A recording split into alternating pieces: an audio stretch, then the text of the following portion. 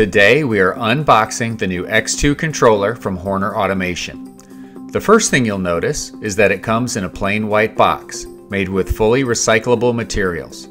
It's identified as a Horner Automation product with Horner worldwide locations located on the front. This is important because the X2 is a Horner designed product designed by our global design team. The part number and barcode are located in the lower left-hand corner of the label. In this case, the HE-X2R model, which features relay outputs.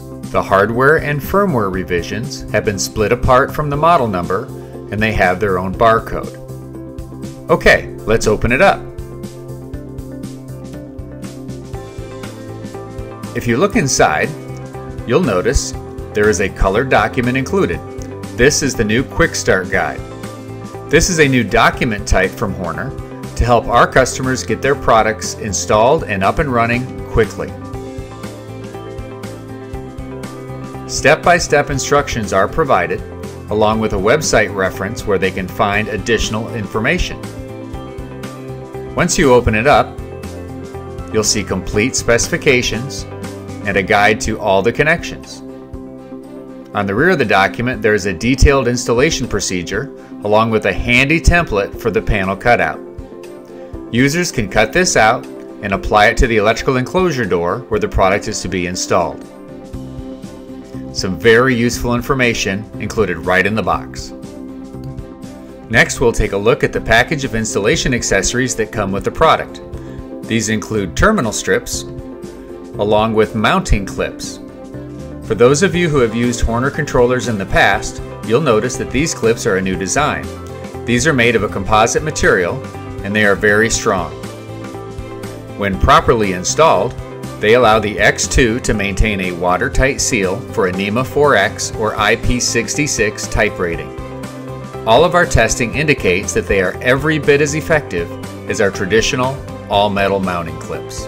Setting aside the accessories, let's take a look at the X2 product itself. On the front of the unit, you'll see a 2-inch graphical display. You'll see soft keys positioned around the screen. These are used to actuate graphical objects on the screen, like push buttons and selector switches. In the center of the product are arrow keys. These are used for navigating menus and in combination to call up the system menu. Here are escape and enter keys, and you also see numeric entry keys which double as function keys. All the keys have a tactile feedback from a long life dome and have great feel. As we turn the product over, you'll notice that all the user connections are on the back.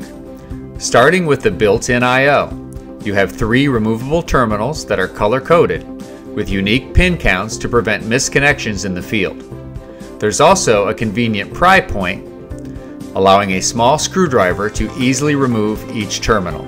Along the top are communications ports, starting with a serial port, followed by a CAN port on a red connector. The connector is red to make it easier to differentiate from the serial port. Next door to that is a blank place for a LAN connection. No, that's not for the X2, that's for the X4, the X2's big brother. The X4 will be out later this year. In the upper right hand corner is a USB Mini B programming port. In the lower right hand corner is where power is landed, 24 volts DC. And as you turn the unit on its side, what you won't find are any jumpers or dip switches, but you will find a micro SD slot. This can support memory card sizes up to 32 gigabytes.